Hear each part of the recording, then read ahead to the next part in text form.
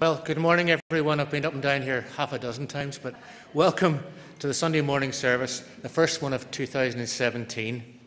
Um, I trust that everyone has had a good Christmas and that you're looking forward to a, a stronger spiritual year coming forward.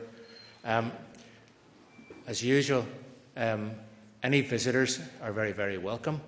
And just a wee reminder for them, or a note for them, that there's tea and coffee afterwards, so you're welcome to come along to that as well. Our speaker this morning is Willy Logan from the Belfast City Mission, and Willy, we look forward to hear what you have to tell us later on. Being the first Sunday of the year, I've just been given a million adverts because uh, you noticed there wasn't a, a, a form. You'll have seen them this morning. It's not behind me now, it's only me you can see. But you'd have seen this morning all the usual stuff that's up there. But a few more announcements.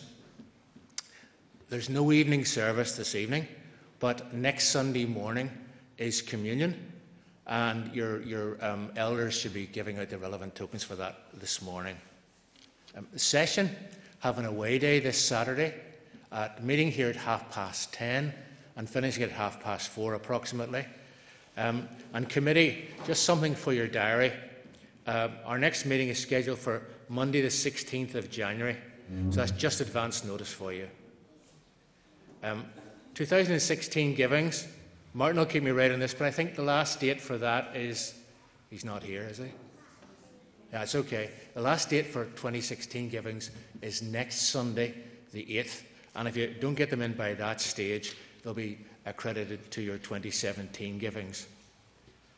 Um, Okay, PW, um, would all PW members please stay after church for five minutes in the corner of the church? Betty's looking to, to get a hold of you. On the same sort of theme, uh, Margaret would like to speak to everyone about the, um, the dinner, I think, that's been set up for PW, and also to remind those that haven't as yet paid for Wider World to pay that this week, please.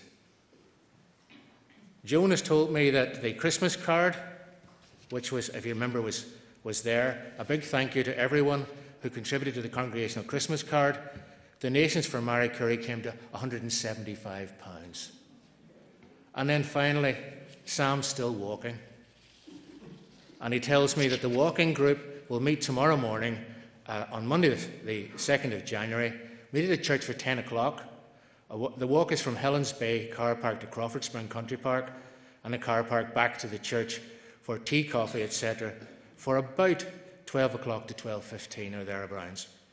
We're meetings with the, the walkers from Knock and we'll meet down there with them at 10.30. So any healthy people who want to go walking tomorrow, Sam's your man for a bargain. But we're here to worship God, aren't we? And, whoops, that's not very good. We're here to worship God. So let's do that with our first singing. Our first song looks back. Let us praise God. Let's stand. For Lord, for the years your love has kept and guided, sought us and saved us, pardoned and provided. Let's stand to sing.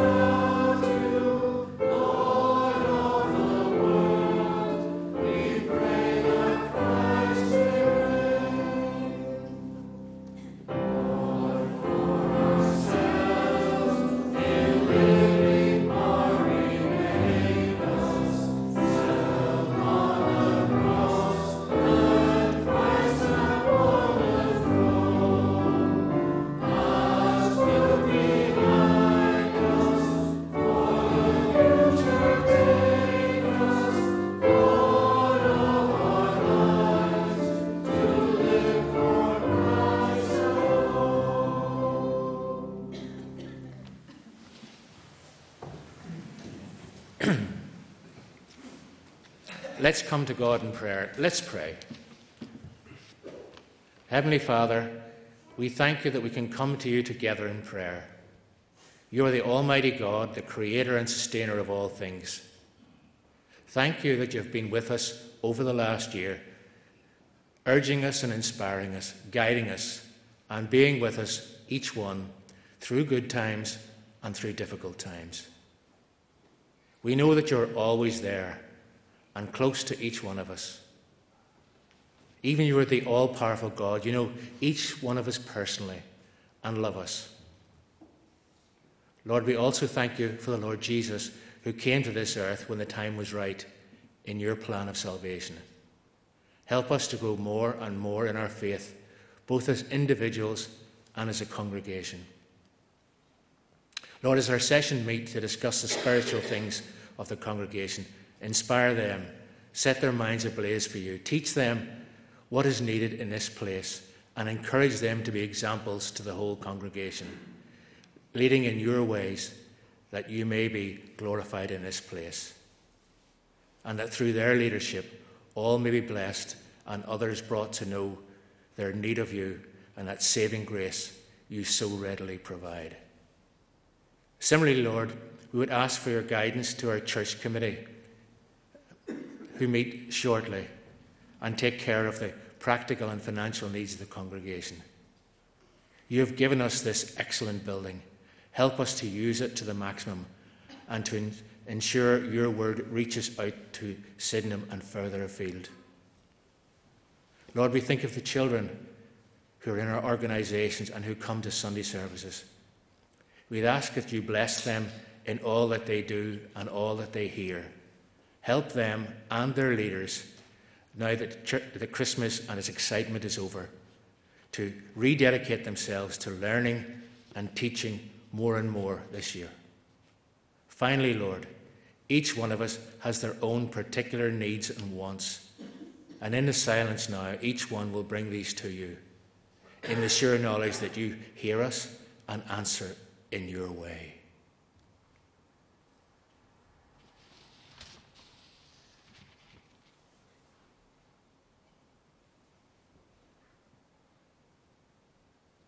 Lord, we bring our prayers to you in and through the name of the Lord Jesus Christ, our Saviour. Amen. Children, go. Actually, Marty, you go too.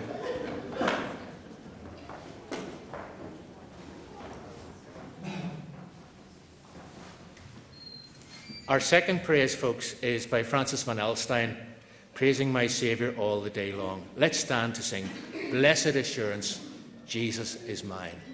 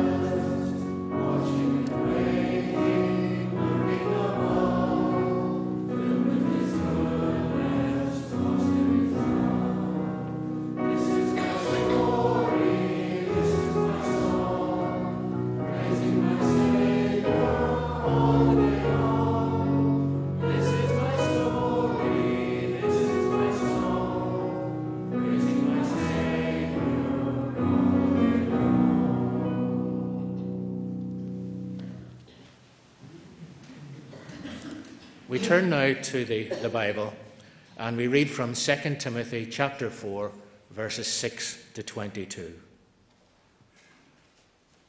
For I am already poured out like a drink offering, and the time has come for my departure.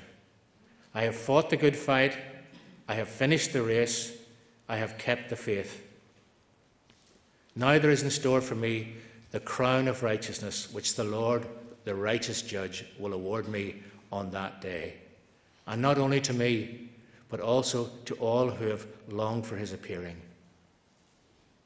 Do your best to come to me quickly, for Demas, because he loved this world, has deserted me and has gone to Thessalonica.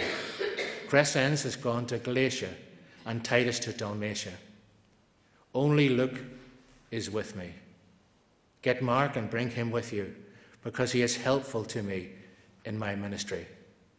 I sent Tychicus to Ephesus. When you come, bring the cloak that I left with Carpus at Troas and my scrolls, especially the parchments. Alexander the metalworker did me a great deal of harm.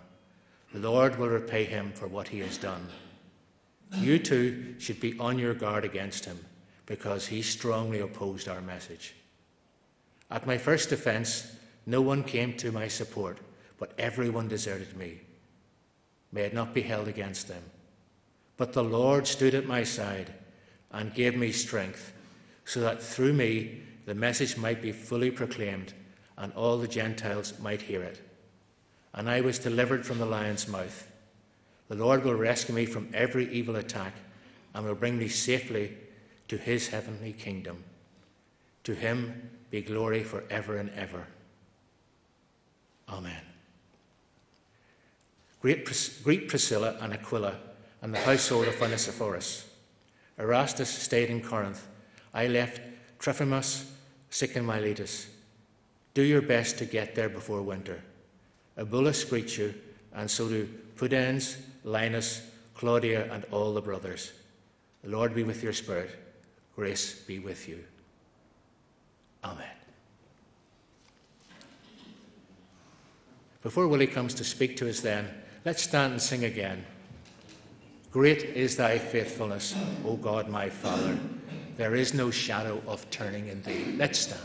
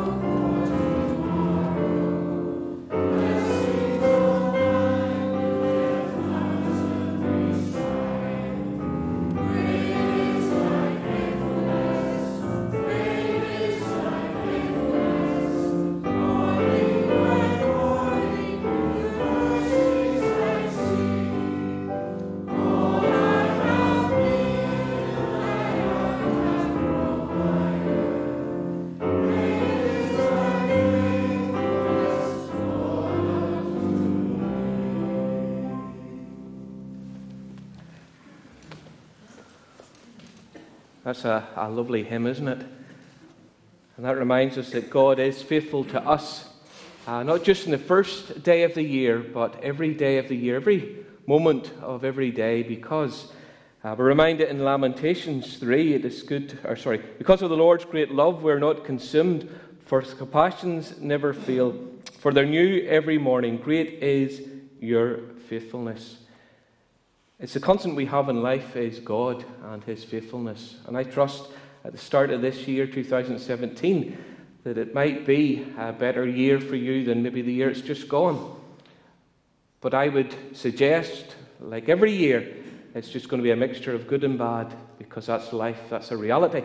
And the Bible reminds us that through much trial and tribulation we enter the kingdom. But it's good to know that God is in control of all things. But I was wondering when Danny spoke to me a few weeks ago and asked me to come, and then last week he says, Have you got a reading? I thought to myself, No, I haven't. Um, and then I, I, realized how close it was the 1st of January. I didn't realize it was just a week away. And I thought on a theme, and I thought in this passage, and that's why I, um, uh, I chose uh, 2 Timothy, because we're going to look at a theme, but we're going to look at this passage and develop the theme. But we'll do that in a few moments. Let's just pray again before I bring the message to you. Let's just pray. Father, we thank you for all that you've already done for us since we opened our eyes this morning. We thank you for the homes that we have come from, the food that we have been able to take, and the journey that we have uh, done to arrive here safely, then to come and to worship you with like minded people. I pray a blessing upon all here today. I don't know them, Lord. Uh, you know them. You know what goes on in their lives, just like you know what goes on in my life and my family. And I pray just at the start um, of this year and this service that each one would have confidence in that triune God. You know us better than we know ourselves.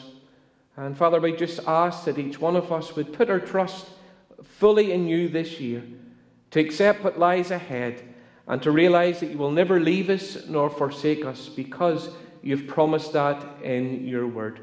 So help us as we look at your word now, just open it up to us again that we might uh, get better insight into all that you have to say uh, through the reading of that word and the, the meditation upon it, that we would be better and stronger to face what lies ahead this week. For we pray all these things in Jesus' name. Amen. Let me ask you a question just as we start this morning. If you were told today, first day of January 2017, that you only had a certain amount of time left to live, how would it change your attitude towards life?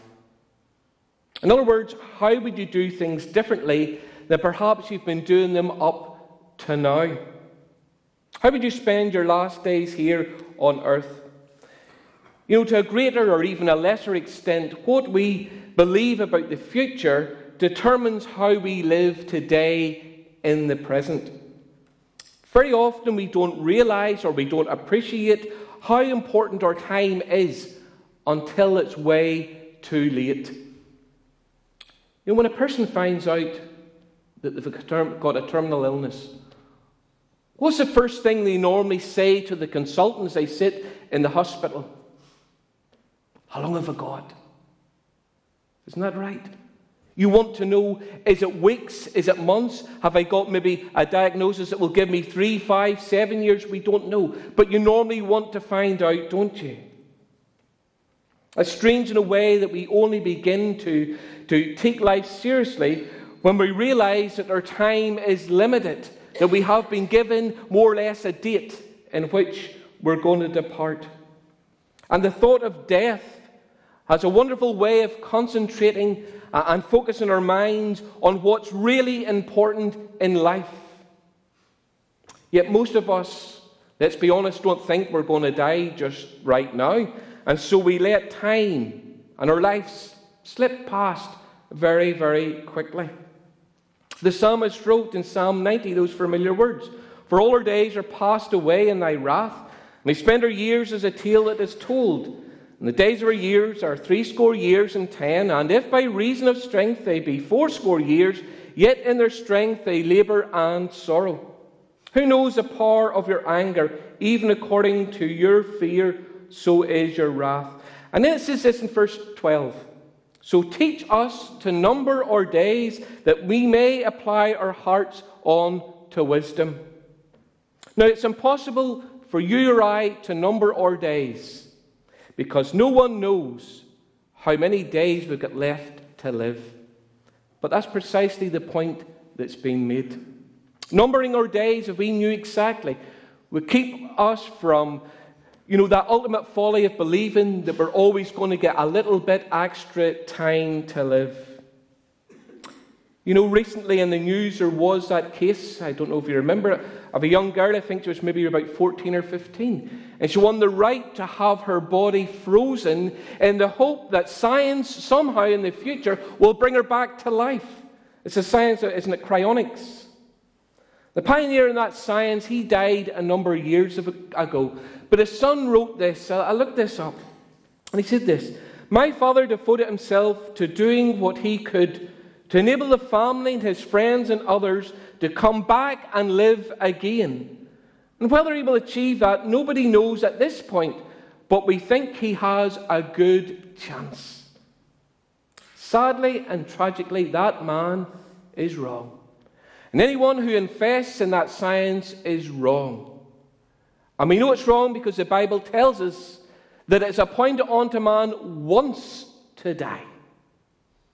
You see, when you die, you're not coming back this way again. Therefore, to invest your money and your time and your hope in science is a waste. It's a false hope. The only hope that you have today to live again is what Jesus says He that believes on the Son has everlasting life. It's a free gift. You can have it today. As we come to the end of chapter 4 here in 2 Timothy, we're reading the testimony and the final recorded words of that great apostle. And after he wrote these last few verses, he put his pen down and the curtain closes on his life. What happened has been debated for 2,000 years. But it's more than likely that Paul was taken from his prison cell in Rome under the orders of the Emperor Nero and he was beheaded. But before that happened, he was able to give his testimony of the assurance because he wrote, For I am now ready to be offered, and the time of my departure is at hand. I have fought a good fight, I have finished my course, I have kept the faith. Henceforth there is laid up for me a crown of righteousness, which the Lord, the righteous judge, shall give to me at that day, and not to me only, but unto all them also that love his appearing. It wouldn't be long before that great apostle would hear those words that I trust everyone in here will hear from the lips of the Master someday. Well done, thy good and faithful servant. Enter thou into the joy of the Lord. That's what we want to hear at the end of life's journey. You know, the Bible has a lot to say about life and about time. And the most significant thing that it says is something that you and I already know. And it's this our time is limited. We are not going to live forever this side of eternity. One of the most recognizable passages in the Bible talks about time, and it reminds us there's a time for everything. And that's in Ecclesiastes 3. To everything, there's a season and a time to every purpose under the heaven. A time to be born, a time to die, a time to plant, and a time to pluck up that which is planted. A time to kill and a time to heal. A time to break down and a time to build up. Although we don't always have the time to do everything that we want to do, I believe God, in His goodness, gives us the time for the things that we need to do, especially with regards to spiritual matters. In other words, to make sure you're right with God, should your time come to end on this earth very quickly. Although we don't always have time, we know we do have the present we have today. No one gets more time than anyone else. Doesn't matter whether you're young or old, rich or poor, whether you're a Christian or not a Christian. Because God, in His goodness, every morning gives us 24 hours. He doesn't give someone 25 because they came to church and give someone 24 because they didn't bother. God doesn't work that way. That means all of our time belongs to God. And what you do with the hours and the days and the months and the years that God gives you is very, very important. Because someday each one of us will stand in front of a holy God. And we will be asked, What have you done with your life? What have you done with the time that I give you? Someone wrote this Time is the coin of your life. It's the only coin you have, and only you can determine how you spend it. But be careful lest you let other people spend it for you. Time matters, doesn't it? Because time is the stuff of life. And when it's gone, it's gone forever. It can be used, it can be wasted, it can be infested, it can be misspent. But remember, when it's gone, it's gone. It'll never be regained. You know, sometimes when you're chatting with a friend, you might ask, Look at the time. Where'd the time go? And they'll say, I have to go on, I have somewhere else to go to. You know, I got a, a message there the other day from a guy I used to play rugby with. And we I used to play for Randalstown, you wouldn't think with ship him it, but about 15 years ago we won the league. And it's a reunion dinner they're going to have. And I thought, is it really that long since we won that? You know, the time goes very quickly. And as you get older, it goes much, much quicker. Benjamin Franklin said, Do you love life? Then do not squander time, for that is the stuff which life is made of. Therefore, what you do today with the moments and the minutes and the opportunities, the people that you talk to, is so, so important. Because sooner or later, your time will be gone or their time will be gone. You know, all of us are slaves to time, aren't we? In one way or another. These days, people are glued to the mobile phones.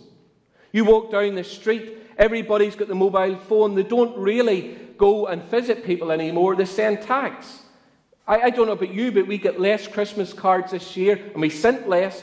Maybe it's because you speak to people on the, on the phone or you text them or whatever it may be. Isn't that right? You know, I've got two girls, and sometimes I'd hear my phone bleeping, and I'd go and pick it up. She's upstairs. What time's the dinner ready? That's not the way they work these days. And to save time, we, we, we've changed our, the way we communicate. You know, there's people sitting here and you can remember writing a letter.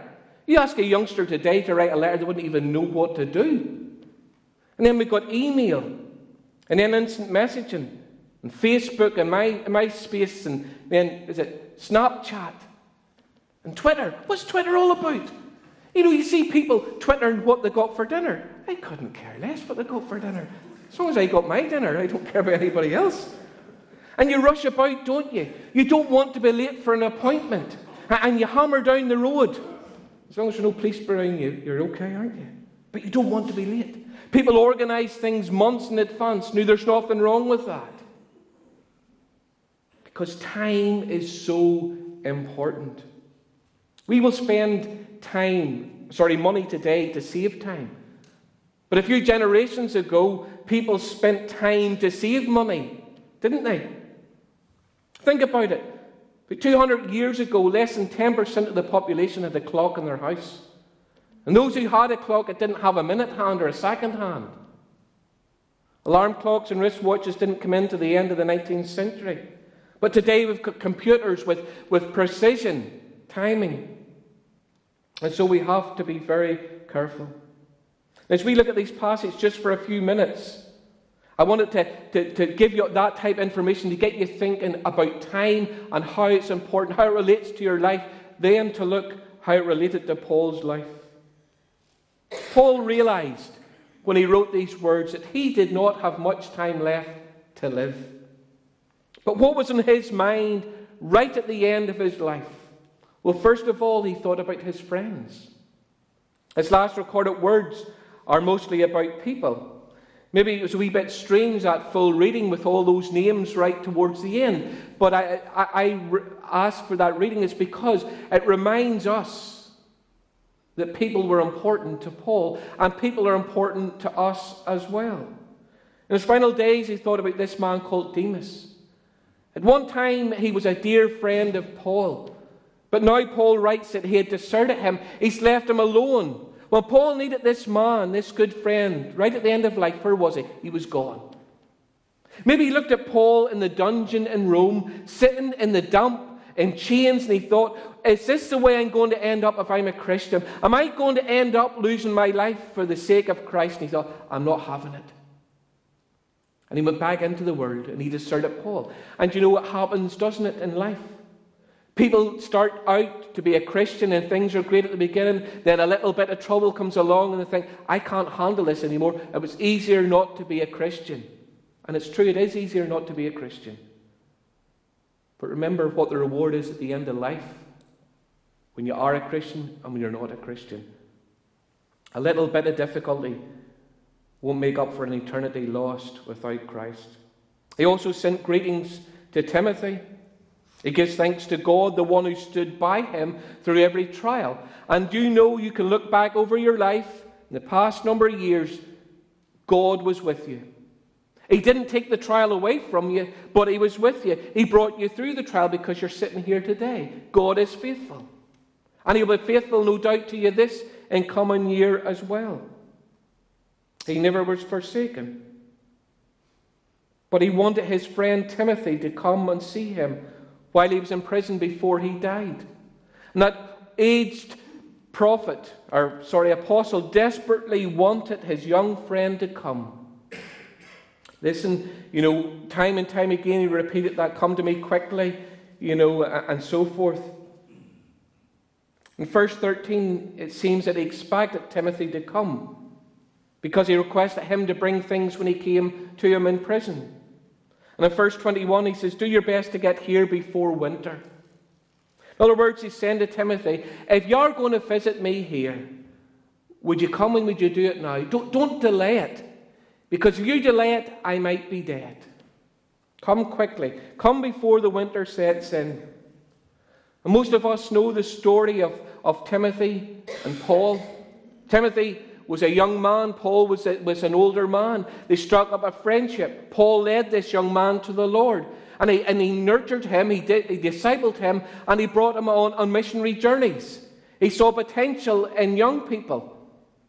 And goodness knows what you know, the young people who've maybe gone to Sunday school today, what potential there is in a young life if you spend time with them. Give them the opportunities.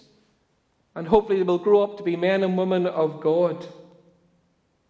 As Christians, we know that we can have friends of any age.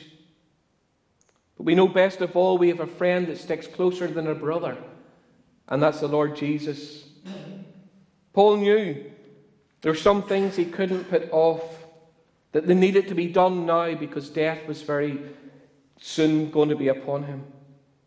Many years ago, Martin Luther King stood on the Lincoln Memorial steps in 1963 and he gave that great speech, I Have a Dream. But he said this We have also come to this hallowed spot to remind America of the fierce urgency of now.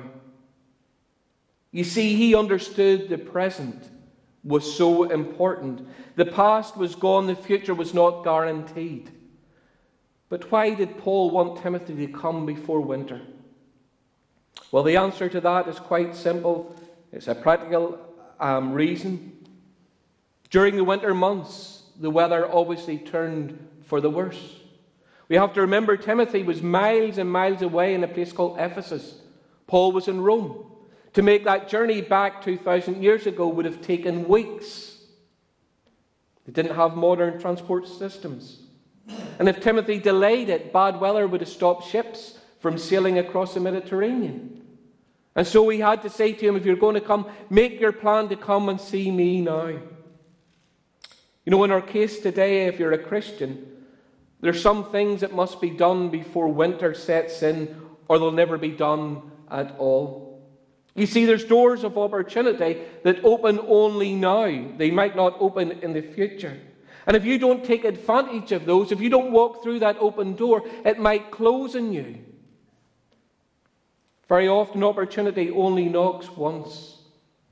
We all live busy lives. But that's no excuse for not attending to those things that are so important to do. Very often, we can make ourselves look busy, can't we? With trivial matters. I remember I used to work in a bank in London, and there was a guy in the office with me in financial services, and he was the laziest creator you could have worked with. But he always made himself look busy. He had two big trays with files, and if you walked past, he pulled one out. And the rest of the time, he was reading the, the, the recent post.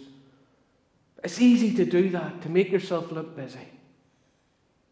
But I'm sure there's things that need to be done in this church. But are you expecting someone else to do it? Are you expecting the minister, the elders, or those who sit in the committee to do everything? What is God calling you to do in 2017 in the Strand that could make it a better place to draw people in from the community who do not have a church background? Don't leave it up to someone else. You know, if you are in the will of God and you're walking with the Lord, and you do invite people and you visit people, God will bless you for that.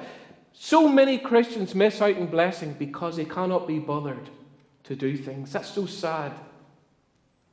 We have to do it because, you know, our life is only a vapor. We don't know. Life changes so quickly. You get up in the morning, everything can be fine, but you go to the doctor, you get your results, life changes. What then? Life is fragile. Life is brief, and death is certain. Paul requested some things. I'm not really going to go into that. It was a simple list. You know, at the end of his life, Paul didn't ask for a lot.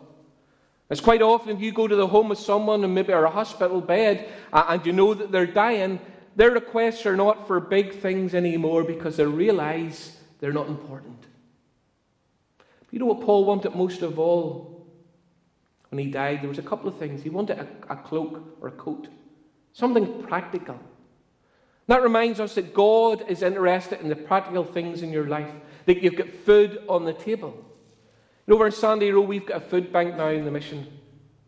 We started it, we saw a need in the area. We've got it done for just over a year now. We started to help families that we weren't able to get into before. And some of the people come in, you sit with them, the stories of people you think everything's okay in the community because you don't know what's going on behind that front door. Some of them are very, very sad tales. So Paul wanted the coat to keep warm. Remember, he left it with someone called Carpus. We don't know who he was.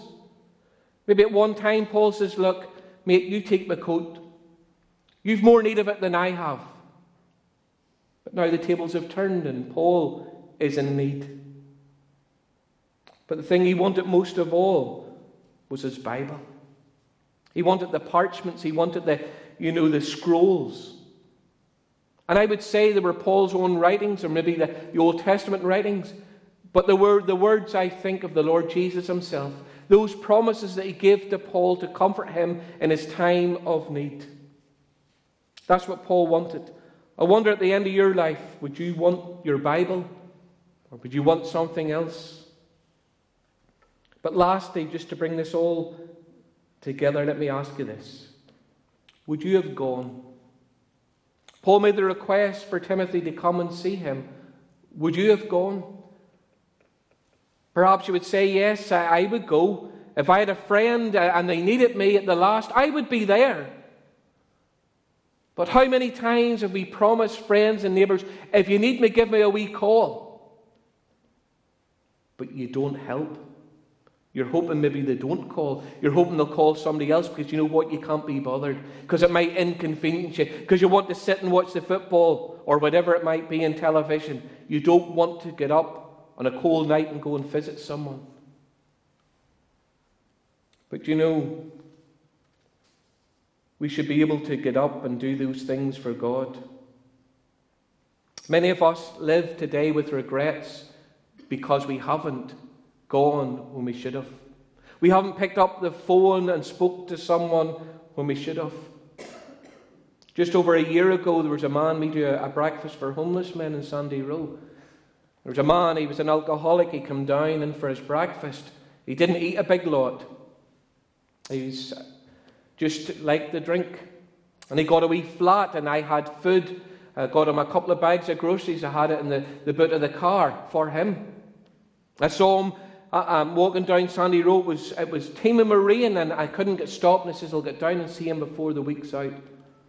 Before the week was out, he was dead. Too little, too late. You think I regret that? Yes, I do. Every single day, I regret that. Because I don't know where he's at in eternity. And I had an opportunity to help. Truly meant well, but things didn't turn out that way, and you're left with regret if only. What service could you render today in this church, as I said, or in the community, or in your family? What's Jesus saying to you? He's saying this do it before winter, but do it before your life is over. There's a Quaker saying says, I expect to pass through this world but once. Any good, therefore, that I can do, or any kindness that I may show to any fellow creature, let me do it now. Let me not defer it or neglect it, for I shall not pass this way again. And I started this message by asking a question. I'm going to finish it by asking a question. Maybe narrow it down even a wee bit more. If you were told today was your last day, what would you do? What would you do if you're told by 12 o'clock tonight your life is going to be finished? You know, when a question like that is often asked, we think it's theoretical, don't we? Because no matter what age you are, no matter what kind of health you have, you think, well, I've still got a wee bit more in me. Still a few miles in the tank. But what would you do? For some, it would say, I want to get the family around me. And I want to tell them that I love them. And that's good and commendable, and I hope you can do that. Perhaps you would try to, to amend a, a broken friendship or relationship with someone. There's been a gripe for many years, and you're going to say, Before I go, I want to sort this out. Say, I'm sorry, whatever you need to do. But you know, the most important thing you must do is to make sure you're right with God. Because you only have today to get right with God. You won't have tomorrow. And you certainly, when you pass into eternity, you will not get a second chance. Paul said one time, Behold, now is the accepted time. Behold, now is the day of salvation. It's only today. Someone wrote those words The clock of life is wound but once, and no one has the power to tell just when the hands will stop at late or early hour. To lose one's wealth is sad indeed. To lose one's health is more. To lose one's soul is such a loss that no man can restore. And so that little phrase, come before winter, reminds each one of us at the start of 2017 of the brevity of life. We're in the winter season, aren't we? The last season of the, or the last season of the year. We think, first of all, of the springtime. You know, it's when the grass starts to grow again and the trees start to bud, and it's days of birth and resurrection, and we're, you know, we're beginning life's journey. And then we come into the summertime and we're full of, uh, you know, of, of life. We're bursting, you know, with energy, and life is really good. Then it comes the days of autumn the nights start to draw in a wee bit, the, the air gets a wee bit cooler, the grass stops growing, the leaves fall off the tree. And we know the year's moving on really quickly. And then you come to winter. There's more darkness and there is light. Nothing grows. And we know the end of the year is upon us. Many of us sitting here today, and I am finished now, have been through the seasons of life. Some may be looking around, but the youngs have gone out. They're certainly in the spring of life. Others in summer, some in autumn, many in winter. And we all know that as you get older, we tend to think about the end. But I want to tell you, it doesn't matter whether you're in the spring of life or the winter of life, no one is guaranteed another day. We all know of people young in life who've been taken from us. And don't think just because you're full of health today uh, and you've got a, a number of years ahead of you, so you think until retirement or whatever, that God will give you those. No one is promised tomorrow. But God in His goodness has given us today. And I would just say to you as I finish this message that if you're not right with God, is get right with Him today. Use this time to make sure at the start of 2017 all is well for eternity. Don't leave it too late because you might never, ever get another opportunity to ask for forgiveness. And I trust this year that we will have families complete in Christ with all families and friends that don't know the Lord. And may it be this year that the families complete. We'll pray and then we're going to take up the offering. Let's just pray for a moment. Father, we do thank you that in your goodness you have given us another day at the start of another year. And we can look back over the year that's gone and we, yes, we've messed up, we've done things that are wrong. But Lord, this is a, a new opportunity, a new beginning. And may it be today that it might be a new birth for someone, that they might be born again into the kingdom of God. And we know that you never refuse anyone who comes, who puts their trust in the Savior. Lord, you never turn anybody away. And we ask that you'll do that wonderful miracle of transforming a life, and we will give you all the glory and praise. For we pray these things in Jesus' name. Amen. Amen. As I said, the offering is going to be taken up. Thank you.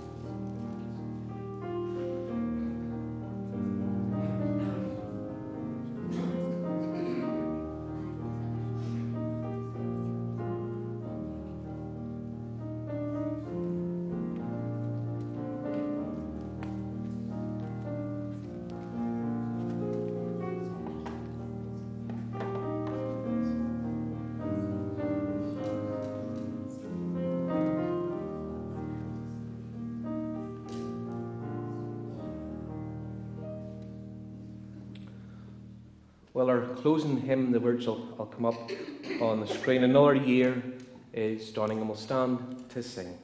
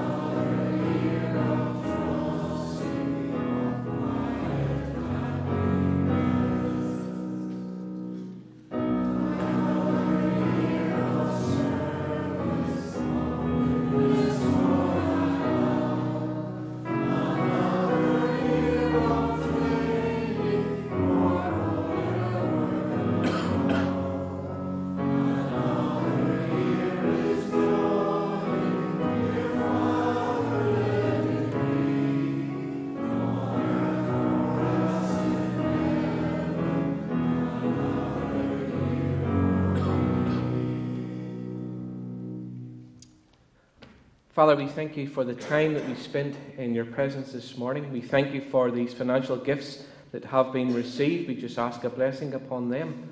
But Lord, as we uh, maybe fellowship with a cup of tea, just bless our time. And for those who have to leave now, take them to their homes in safety.